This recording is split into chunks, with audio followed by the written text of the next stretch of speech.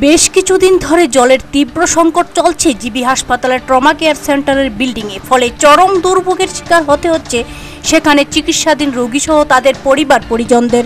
Trauma care সেন্টারের বিল্ডিংয়ে চিকিৎসাধীন রোগী ও তাদের সাথে থাকা লোকজনের বক্তব্য দুই দিন পর পর জলের সমস্যা দেখা দেয়। বিশেষ করে রাত আটটার পর থেকে সকাল দশটা পর্যন্ত জল পাওয়া যায় না। এতে করে দোকান থেকে জল ক্রয় করতে হচ্ছে রোগীদের। এমনকি শৌচালয়ে কোনো ধরনের জল নেই, ফলে চরম সমস্যায় পড়তে হচ্ছে রোগীসহ তাদের পরিজনদের। বুধবার সন্ধ্যার পর থেকে ট্রমা কেয়ার সেন্টারের বিল্ডিংয়ে ফের জলের তীব্র সংকট দেখা দিয়েছে।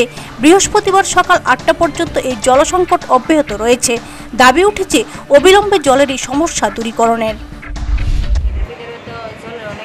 কালকে সাতটার সময় জল কিন্তু এখন সকাল আটটা বাজে।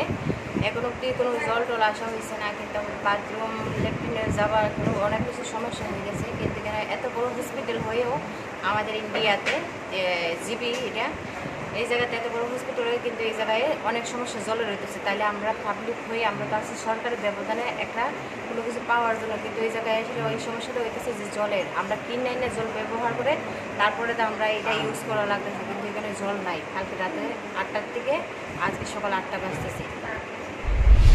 পারতেছে না এত কষ্ট হইতেছে। এই ওই সমস্যাটা কদিন যাবত?